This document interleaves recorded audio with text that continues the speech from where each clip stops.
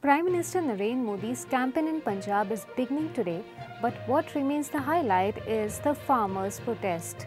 PM Modi will start his poll campaign in Punjab with his first rally in Patiala, and this will be followed by rallies in Gurdaspur and Jalandhar on 24th May. But farmers' unrest can play a major spoiler to this campaign. For the unaware, farmers mainly from the states of Punjab and Haryana are seeking a law that would guarantee minimum prices for 23 crops to help stabilize their incomes. But what is happening currently is an extension of that. Here's our journalist Faisal Tandel reporting from the ground. We are right now in Punjab where different big political parties are campaigning for the upcoming Lok Sabha election which is going to be held on June 1st while on the other side thousands are farmers are protesting on the Haryana and Punjab borders. We got a chance to visit one of the borders, which is called as the Shambhu border, where uh, thousands of farmers have been protesting from last 100 days.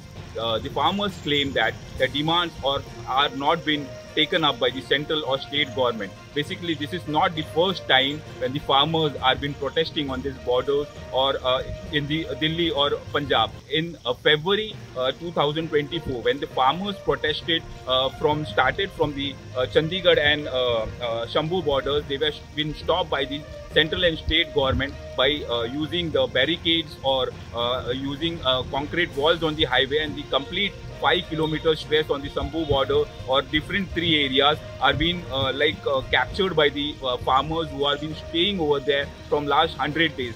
the Uh, farmers claim that if their demands are not been uh, uh, completed by the central or state government, the uh, protest will be continued. Uh, either it be the NDA uh, government or the Indian alliance come in power, they will keep the protest on. while Lok Sabha election is going on in Punjab, it will be interesting to see the BJP or the Congress, which party will take the strength of the public and the result will show the strength.